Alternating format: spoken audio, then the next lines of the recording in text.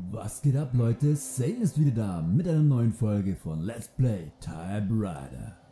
So, schauen wir uns mal die nächste Schrift an und zwar Clarendon. Äh, komm. Na, komm. Juhu. Hui. Clarendon. Leg mal los.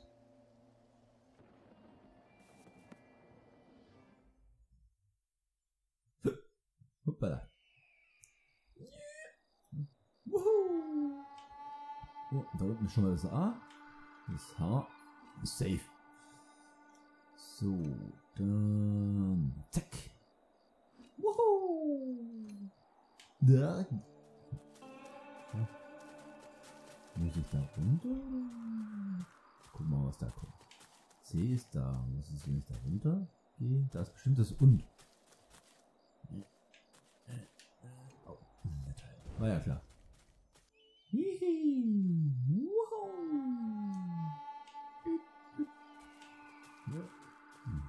Toll. Na, komm schon, komm ich da irgendwie ganz... Ach komm, leck mich am Arsch. Ich scheiß auf das Und. Ganz ehrlich. Irgendwo ist auch mal Schluss. Juhu. Fahr, fahr. Boing. Boing. So. Wir sind im wilden Westen. Sing. Oh, cool, kann ich hier irgendwas. Hoch mit dir. Hm. Hm. Bin zu leicht. Hm. Hoppala, D. Und dann das E.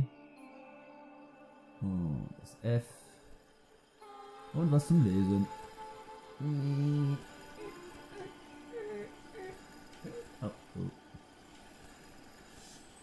So, die Lithografie.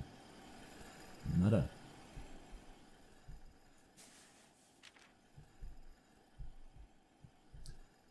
Hochgeschwindigkeitsdruckmaschine. Bresse en Blanc. Laut Z und C 1904. Die Lithografie. Das 19. Jahrhundert brachte zahlreiche Neuerungen auf dem Gebiet der Drucktechnik, allen voran die Lithografie.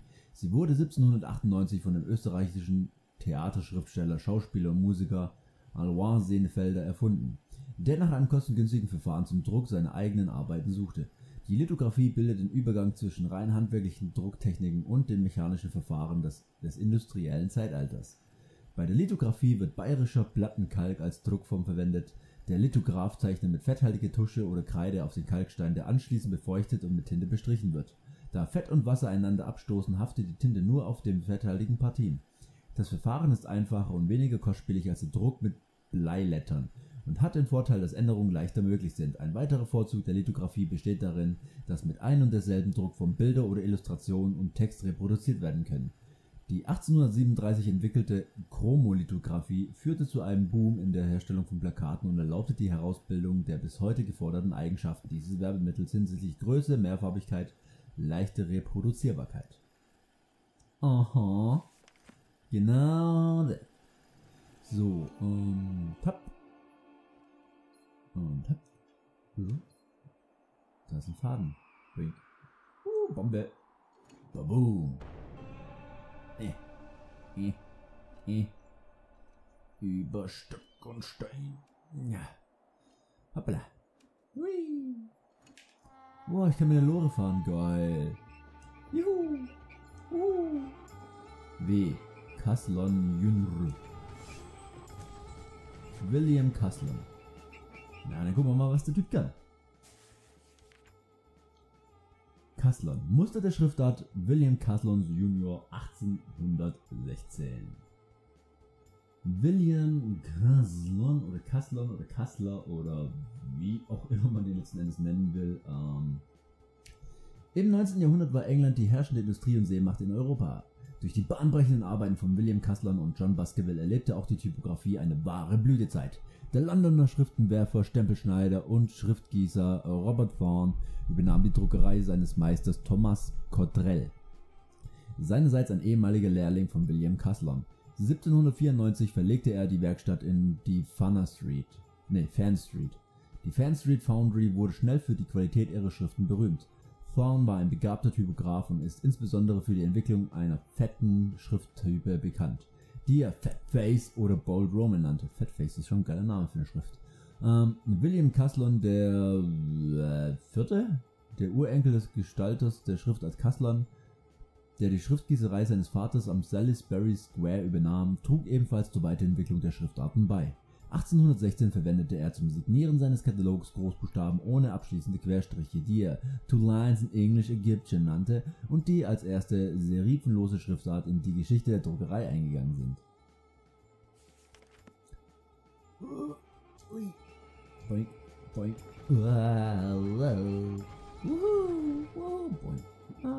Äh, äh. Oh, äh, ich komme hier nicht raus. Nein. So. Und jetzt? Äh, hä?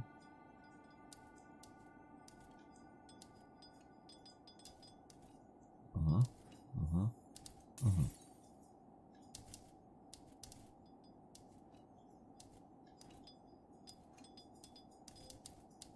Na? Nein, nein, nein, nein. Okay, nochmal.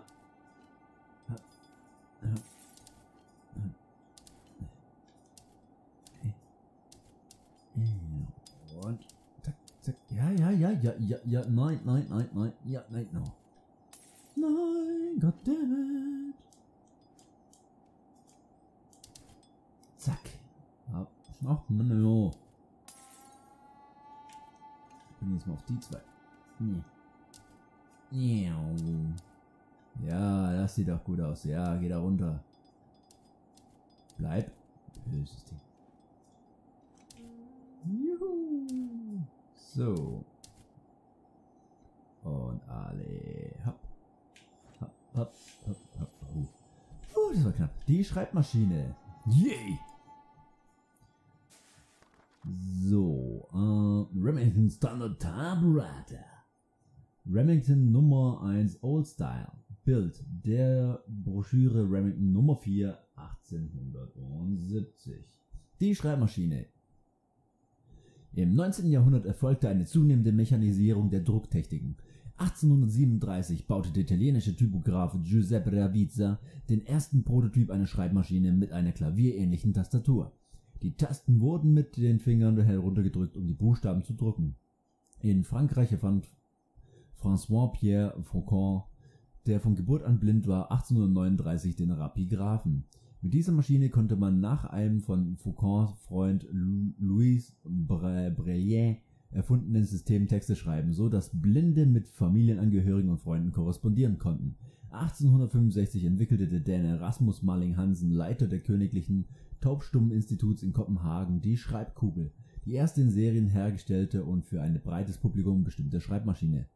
Zeitgleich konstruierte in Pennsylvania, Nordamerika der Drucker und Verleger Christopher Latham Shows mit Unterstützung von Carlos Glidden und Samuel W. Sowell den Prototyp einer Schreibmaschine. Sie besaß eine Tastatur mit Tasten für die verschiedenen Zeichen, Buchstabenziffern, die über einen Stab mit den entsprechenden Lettern verbunden waren. Beim Drücken einer Taste wurde über ein mechanisches System das Zeichen mittels beweglichen, eines beweglichen Farbandes auf ein Blatt Papier gedruckt. Die Erfinder verkauften 1872 ihre Rechte an den amerikanischen Waffenhändler Remington, der mit der Serienproduktion begann und die Maschine ab 1874 in den USA verkaufte.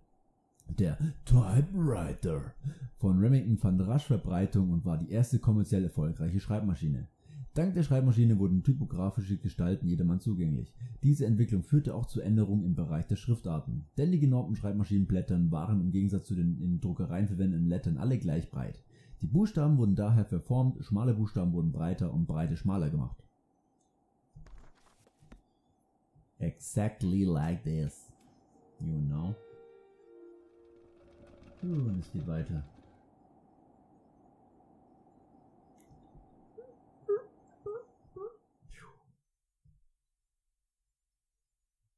Lernen wir noch mehr Spannendes äh, über die Schrift.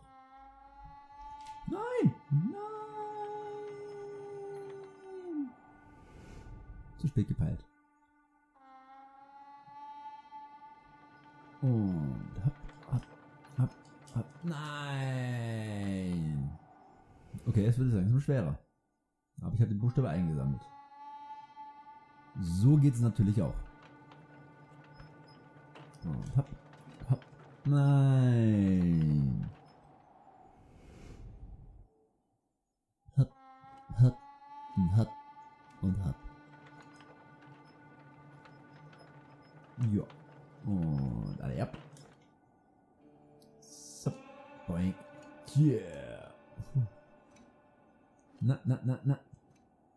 Na, na, na, na. Wanted.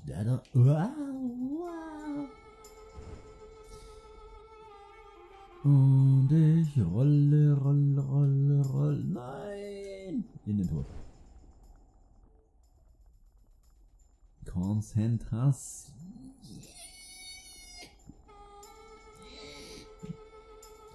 Alle ab. Alle ab. Nein. Die ägyptischen Schriften. Uah. Warum werde ich erschossen? Mann. Reward. 15.000 US-Dollar. Oder, nee, 5, doch. Wanted dead or alive. Notorious Batman. Dalton Gang. Immediately contact nearest US Marshal's Office. Aushang mit einem Kopfgeldausruf auf die Gebrüder Dalton 1892.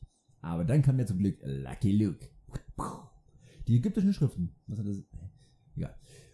Äh, in England förderte im 19. Jahrhundert die Entwicklung von Drucktechniken. Ne? Sollte da nicht eher in England förderte man im 19. Jahrhundert die Entwicklung von Drucktechniken stehen? Weiß, ein Spiel über Schriften und Bücher und bla bla bla. Und Taschenschreibwehr. Äh, Presse und Werbung. Die Entstehung neuer Schriftarten. Vincent Figgins, ein Zeitgenosse von Thorne und Carlson IV., Kassler IV., zeichnete die ersten serifenbetonten Großbuchstaben mit breiten, rechteckigen Querstrichen, die im Unterschied zu den traditionellen Schriften eine konstante Stärke der Haar- und Grundstriche aufwiesen. Die Schriftart Antique, die er 1815 veröffentlichte, ebnete den Weg für eine neue Schriftartenfamilie, die Ägyptien-Schriften. Die Bezeichnung leitet sich von dem Namen der durch die Royal Navy gekaperten französischen Fregatte HMS Egyptian ab, die 1802 den Rosetta-Stein nach London brachte. Schriften dieser Art sollten nicht einfach nur lesbar sein, sondern auffallen. Der grafische Stil der Werbung war reißerisch und provozierend wie die Rufe der Straßenverkäufer und die Aushängeschilder, die er nachahmte. Ein typisches Beispiel ist die Schriftart Clarendon, die 1845 von dem Typografen Robert Besley für die Londoner Fan Street Foundry entwickelt wurde. Sie lehnte sich sowohl an Thorns Fettschrift als auch an Figgins Egyptian an und war in den USA überaus erfolgreich. Die Clarendon wird oft mit dem wilden Westen Amerikas assoziiert und eignet sich besonders für Titel und kurze Texte, wie auf Plakaten und Werbeschildern, was ihren Erfolg teilweise erklärt. Na den. So, hoppala. Nein, nein, nein, nein, nein. Oh Mann, oh. Haha. Mit Logen fahren. Juhu. Komm schon. Nein. Nicht schießen. Ha. Ein Rad.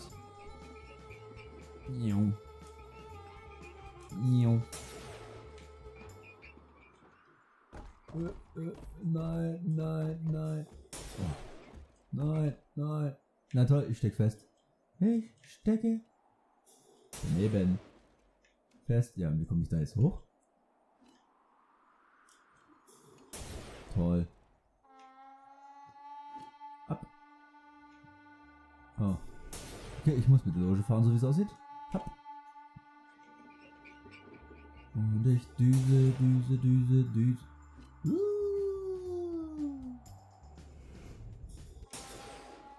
Mann. Nein. Oh Mann, no. Konzentration. Nee, nee. Los geht's. Wuhu, wuhu, wuhu. Fahr, fahr, fahr. Hopp. Hopp. Hopp. Hopp. Mm, hopp. Wuhu. Oh nein. Clarendon City.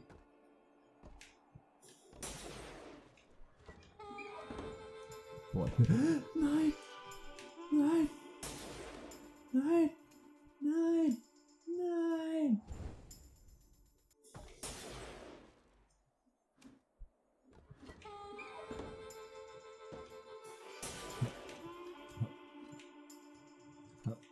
Nein, nein, nein. Ah, Mann, wie komme ich denn da hoch? Wie behindert ist denn das?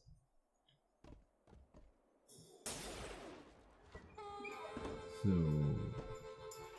Ja. Hopp. Und. Hopp, ab. Ich steck fest.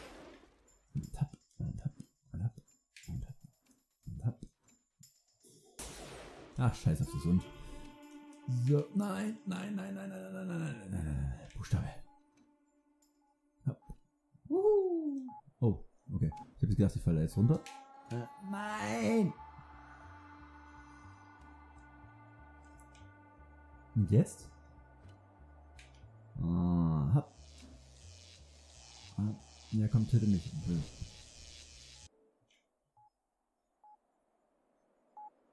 Hopp. Hopp. Ja, ich hab's. Hopp. Der Telegraph. Puh. Spiel ich doch jetzt langsam. Ja. Schwieriger. Telegraph. Polka Telegraph 1885. Der Telegraph. Im Laufe des 19. Jahrhunderts ermöglichte die Entdeckung neuer Energiequellen, insbesondere der Dampfmaschine und der Elektrizität, technische Fortschritte. Auch auf dem Gebiet der Schrift und der Kommunikation entstand Neuerung. Der Londoner Physiker und Erfinder Charles Wellstone entwickelte ein leitungsgebundenes Telegraphiesystem, das mit Hilfe von Strom und magnetischen Nadeln Nachrichten übertrug. 1838 wurde die erste telegraphische Verbindung zwischen London und Birmingham in Betrieb genommen. Zeitgleich ließ in den USA der Maler und Bildhauer Samuel Morse einen elektrischen Telegraphen patentieren. Gemeinsam mit zwei Partnern vervollkommnete er das, dieses Gerät und konnte den amerikanischen Kongress überzeugen. 1843 die erste Telegraphenleitung zwischen Baltimore, Maryland und Washington DC zu verlegen. Bei der bereits 1832 erfundenen Morse-Technik werden die einzelnen Zahlen und Buchstaben in eine jeweils unterschiedliche Kombination langer und kurzer Signale umgewandelt, wodurch Nachrichten schnell über weite Entfernungen gebündelt werden können. Diese Version des Telegraphen verbreitete sich in den USA ab der zweiten Hälfte des 19. Jahrhunderts und verband insbesondere die erst kurz zuvor erschlossenen Weiten des amerikanischen Westens mit den Industriestädten an der Ostküste. Das System zur Fernübermittlung von Nachrichten läutete eine neue Entwicklung auf dem Gebiet der Kommunikation ein. Die zunehmende Entmateri Entmaterialisierung der Informationen, die im 20. Jahrhundert in der Erfindung des Internets gipfelte. Hm, So, und hopp. Und hopp. Und. Mami! Mami! Nein, nein, nein, nein, nein, nein, nein, nein, nein, nein, nein, nein, nein, nein, nein, nein, nein. Ah. Hä? Achso, war ein Buchstabe, stimmt ja. War ja gar, keine, gar nichts zum Lesen. Hopp, hopp. Hopp. Hm. So, was geht jetzt noch? Okay, ähm, ich habe hier lauter Knöpfchen und ähm, ich habe keinen Plan, was ich hier machen muss. Drück mal einfach mal ein Knöpfchen und gucken, was passiert.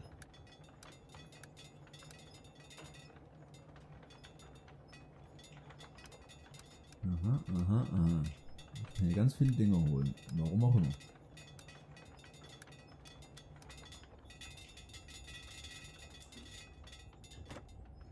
Ah. Oh.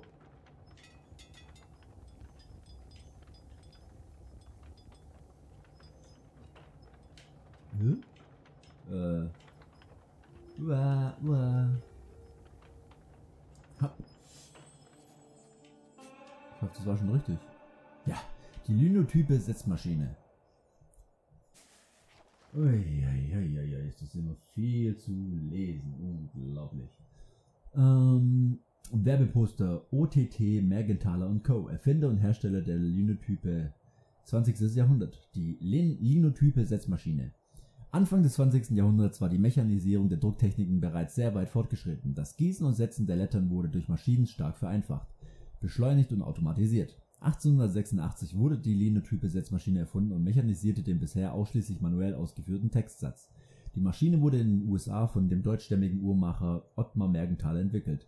Der Setzer gibt den Text über eine Tastatur ein. Beim Drücken einer Taste fällt aus einem Magazin eine Matrize (Gussform) des entsprechenden Zeichens. Die Lettern werden zu Zeilen angeordnet und automatisch gegossen.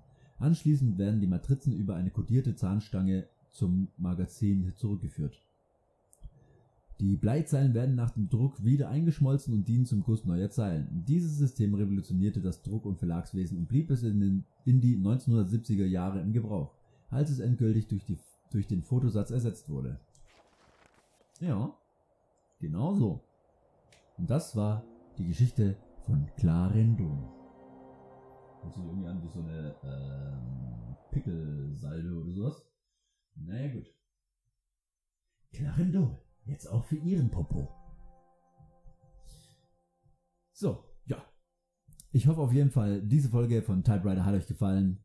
Wenn ja, sehen wir uns auch beim nächsten Mal wieder. Bis dahin wünsche ich euch viel Spaß und haut rein. Ciao.